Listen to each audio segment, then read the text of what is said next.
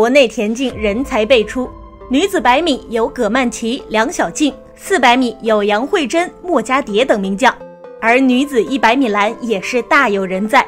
就比如在二零二一年全国田径锦标赛全运会资格赛女子一百米栏决赛，四川美女吴艳妮豪夺金牌。曾几何时，中国女子一百米栏和中国男子一百一十米栏在亚洲都是独步天下。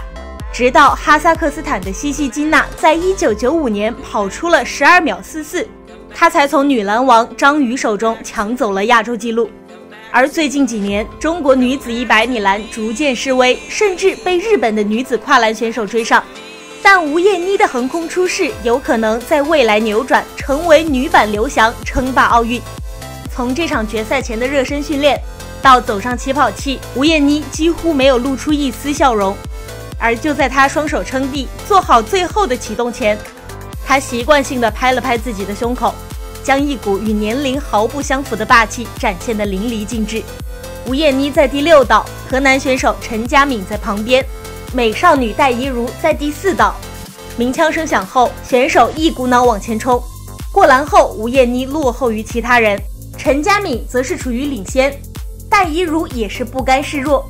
但之后，吴艳妮加速如猎豹般冲了上来，最终以十二秒八七的成绩夺冠。也再次刷新个人百米最佳，该成绩排名中国历史第九快。河南选手陈佳敏十三点零一秒，刷新个人最佳，获得第二。江苏选手王栋十三点零二秒，刷新 PB，位列第三，获得铜牌。